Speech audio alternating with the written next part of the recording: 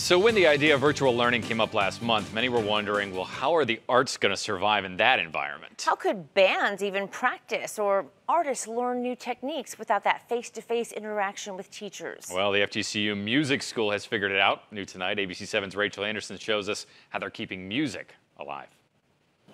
This is the building where FGCU music performance majors would have gathered today, but instead they're making music from bedrooms and living rooms miles apart.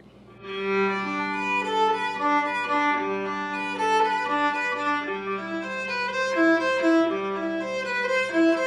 creative impulse when you remove people from people if anything it's it's increased. I mean people need to express themselves.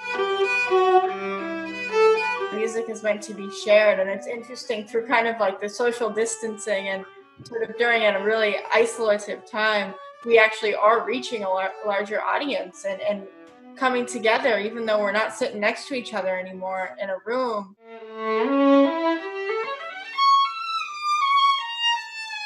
music it's it's completely different because we need that face to face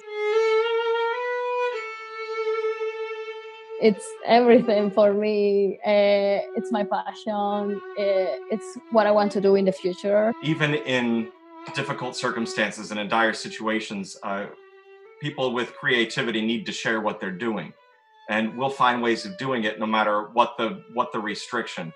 Um, and we have amazing tools, and we should be very grateful.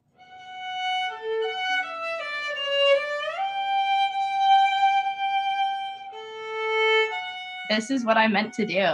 I think I can really affect like change and bring a lot of peace and happiness to the world through music and help people that way.